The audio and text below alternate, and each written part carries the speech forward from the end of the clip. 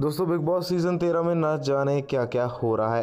आपको बता दें कि घर के अंदर कभी कोई हिंसा कर रहा है तो कभी कोई हिंसा। जहाँ हम आपके लिए लेकर आ गए हैं कि आखिरकार आपको क्या देखने को मिलने वाला है आने वाले एपिसोड के दौरान। दोस्तों बिग बॉस सीज़न तेरह, जो कि हमेशा से ही टेढ़ा नज़र आया है। वहाँ आपको बता दें कि मंडे को एक तरफ़ तो नॉमिनेशन स्पेशल्स भी होंगे तो दूसरी तरफ़ घर वाले इस तरीके से हिंसक होंगे कि एक दूसरे को फूटी आँख नहीं सुहाएँगे। बिग बॉस सीज़न तेरह के अंदर विशाल और मधुरिमा की इक्वेशंस इतनी ज़्यादा ख़राब होने वाली है कि कोई एक घर से बाहर का रास्ता देख सकता है, जहाँ विशाल और मधुरिमा एक दूसरे के इक्वेशंस को समझ ही नहीं पा रहे हैं। ना तो दोनों कभी प्यार दिखाते हैं तो कभी दोनों एक दूसरे के खिलाफ इतनी आग दिखाते हैं कि जैसे एक दूसरे को बिल्कुल पसंद नहीं करते। और यहाँ एक दूसरे से इतना इरिटेट हो जाएँगे कि मधुरिमा, विशाल आदित्य सिंह को चप्पल से मारेगी। अब चप्पल से मारेंगी तो चोट तो लगेगी। और ये तो हिंसा हुई और हिंसा के सख्त खिलाफ है बिग बॉस। हालाँकि इस सीज़न में ऐसा कुछ दिखा नहीं।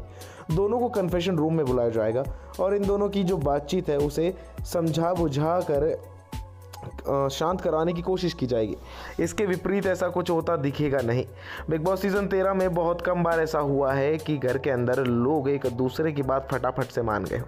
दूसरी ओर शहनाज और सिद्धार्थ के इक्वेशंस भी अब खराब हो रहे हैं। सिद्धार्थ और शहनाज एक दूसरे के अच्छे दोस्त तो हैं ही हैं, लेकिन घर के अंदर सिद्धार्थ सिर्फ़ एक मज़ाक के नज़रिए से शहनाज के मज़े लेने की कोशिश करेंगे तो शहनाज उस मज़ाक को सह नहीं पाएँगी।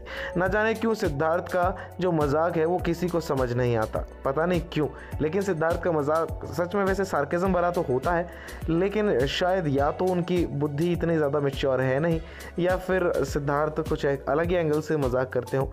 ना जाने ये मज़ाक समझ नहीं आ रहा और सेनाज मार देती हैं सिद्धार्थ को थप्पड़, वो भी गाल पर। अब इसका असर क्या रहेगा? घर के अंदर इतनी हिंसा हो रही है, एक दूसरे को थप्पड़ पड़ रहे हैं तो भैया, बिग बॉस के घर में कुछ ना कुछ तो खतरनाक होने वाला है।